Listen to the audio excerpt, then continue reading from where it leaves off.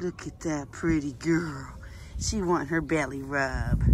It's her belly rub time. She likes it. This Miss Miley, she can be such a big girl. Look at her. Look at her when her belly rubbed. You're a good girl? Yeah? Yeah? We love you.